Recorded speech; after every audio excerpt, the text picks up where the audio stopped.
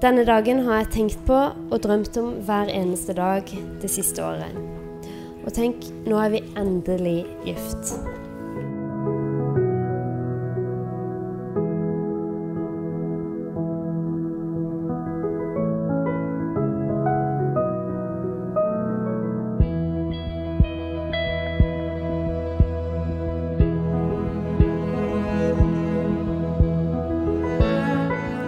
Du er vanvittig god til å se potensial.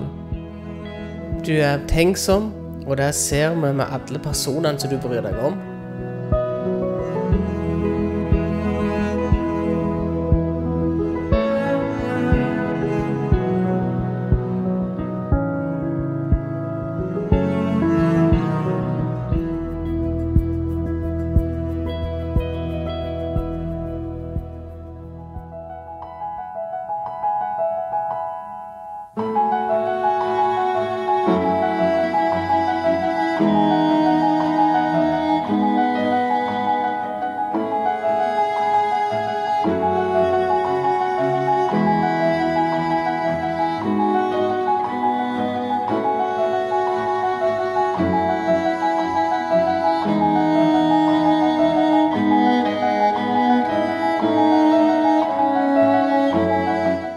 Du sa også til meg at den du velger, Ingvild, skal vi også velge å bli glad i.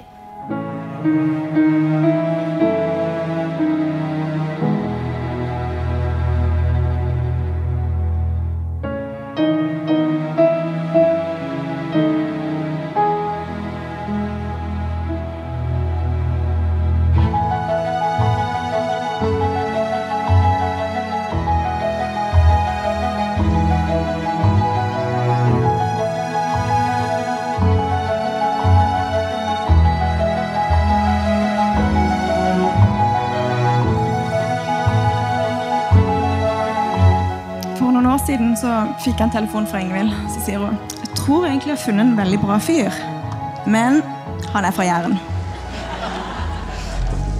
Men jeg syns jo at du kledde rollen som eh, rånebaby der, da. Ja.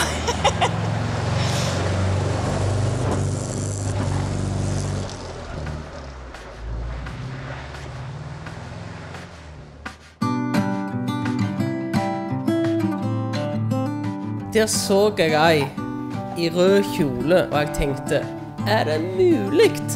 Fins det sånne igjen? Og så snakket jeg med deg. Og så var du steinbra.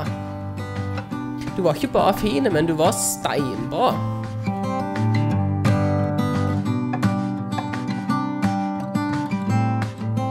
Du er god med folk. Du er praktisk. Du er snill. Du er sterk. Du er omtenksom. Du er god med mat. Og alle de tingene der gjør at jeg elsker deg.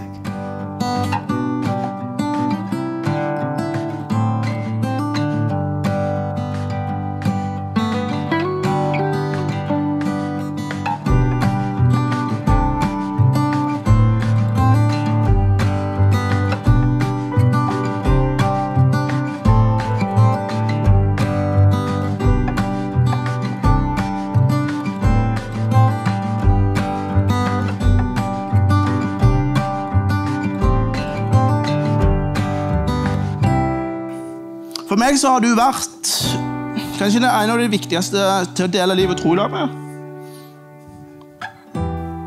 Det som er veldig bra, det er at vi forstår hverandre veldig godt. Eh, Du er et veldig stort forbilde. Gud velsigne dere og ekteskapet.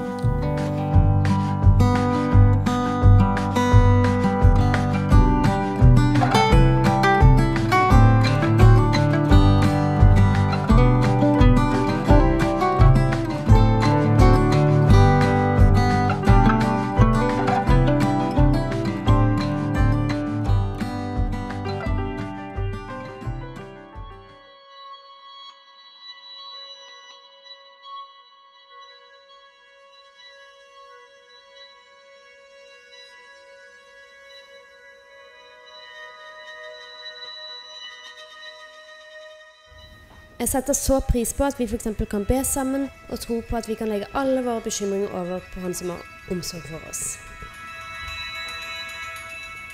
Vi har fått eh, stadig høre at, at dere ikke bare gifter dere. Men for oss så har det vært et viktig valg eh, vi har trengt å tenke godt gjennom og bruke god tid på. Vi har gått mange runder sammen og hver for oss før vi tok valget. Jeg er så takknemlig, og Inge, for at vi er her i dag.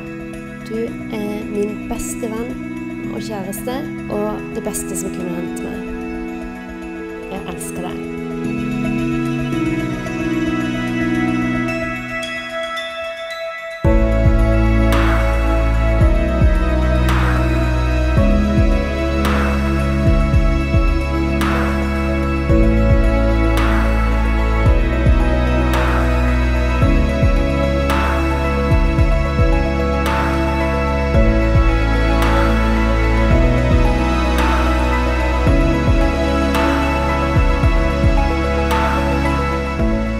Er så glad for at du, og Inge, ikke eh, ga opp eh, på den dama i den røde kjolen.